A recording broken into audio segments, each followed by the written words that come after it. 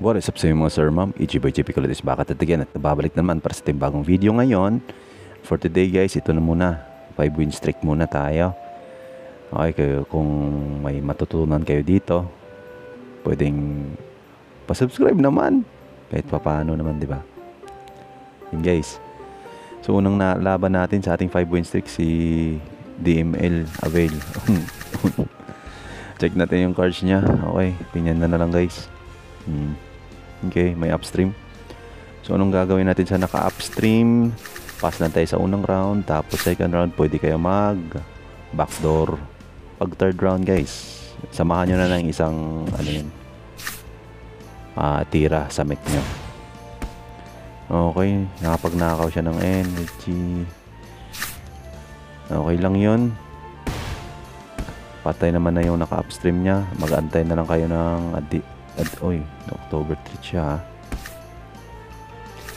Okay, so min meron na tayong 6 energy. So, to be sure, kailangan natin ng isang card sa bird doon. Oy, na-critical. Dapat hindi na pala nilagyan. And yun, sigurado naman na ito eh. Hindi mo naman kasi ma-predict yung mga crit-crit na yun eh. Tsaka yung cards niya kung may October 3 pa ba or wala. Pero i-sure na lang natin para di masakit sa ulo. And then ito na, isang all out shot. Tapos double black mail, sigurado yan guys. Panalo ka dyan. Victory.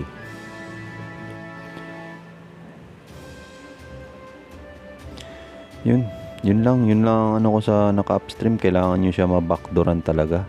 Kung hindi nyo mababackdooran sa third round, doon na kayo duman sa ano, uh, harap. Hirap yun eh.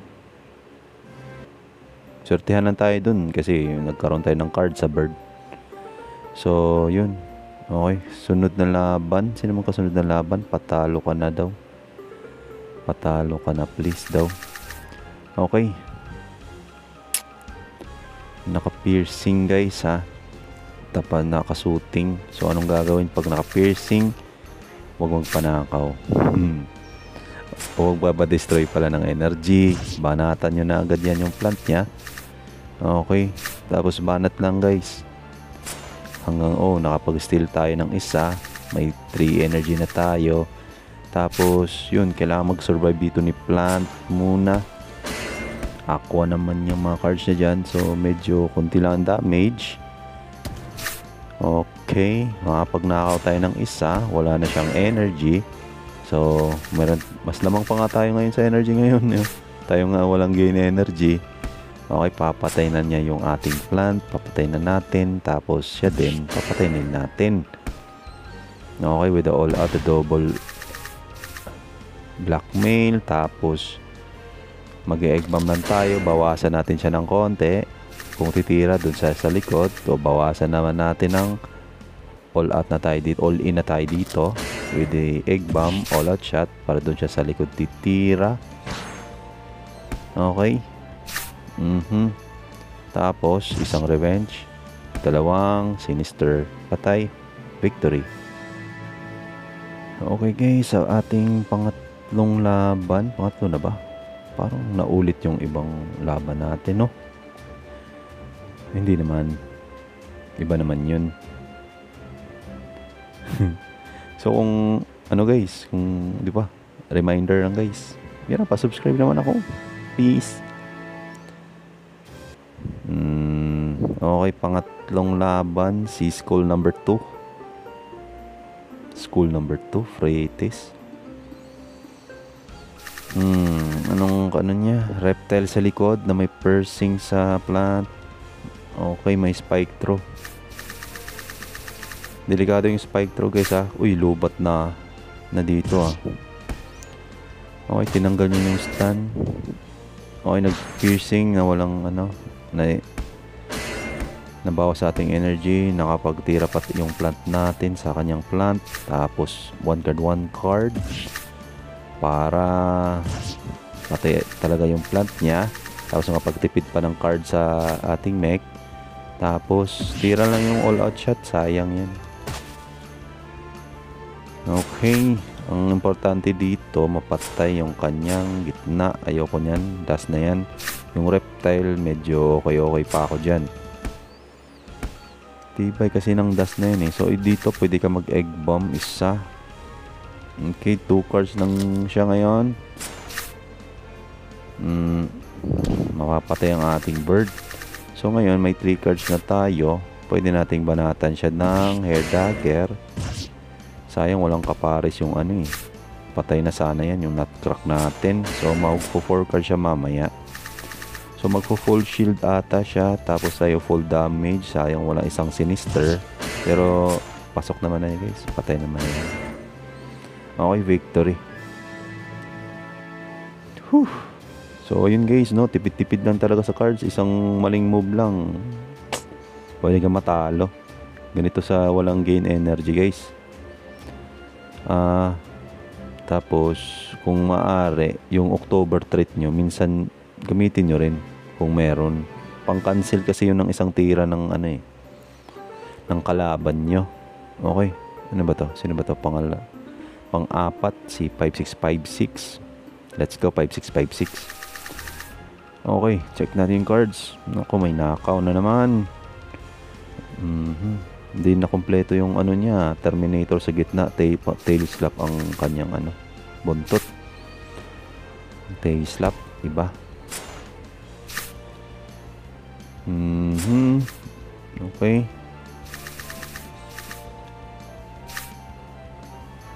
Okay.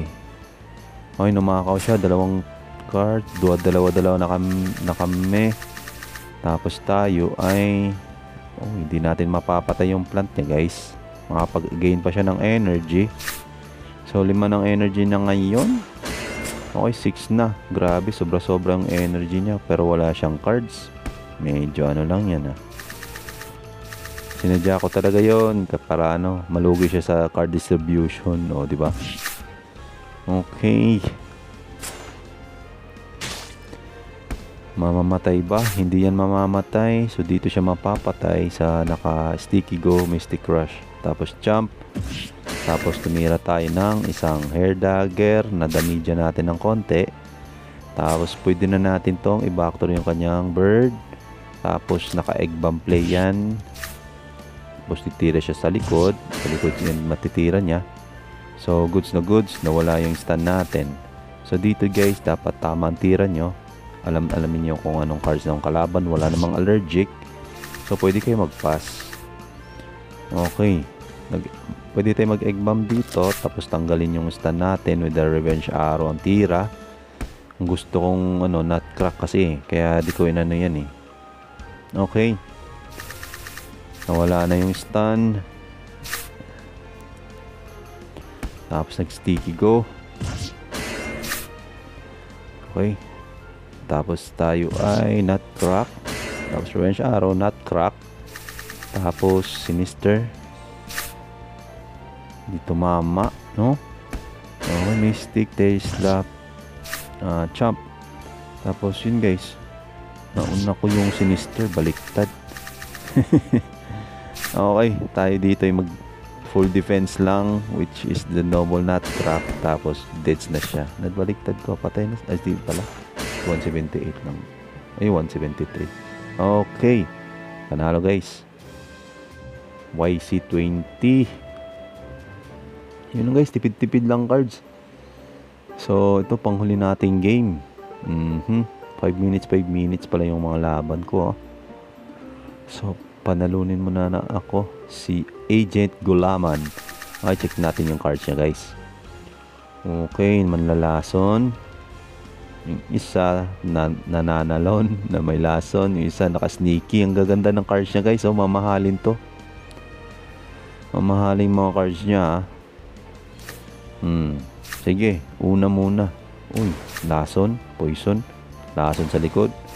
Tapos nagpass lang tayo doon kasi alam natin mga unang rounds lang mga lasonista. Pasan natin yan guys. Tapos ito, nag-backdoor tayo. So patay yung kanyang isang maglalason. Tinirahan natin ng revenge arrow. Tapos lason ulit siya sa plant. Okay. Pwede siya mag-sneaky raid kaso hindi niya ginawa. Hindi ko alam bakit.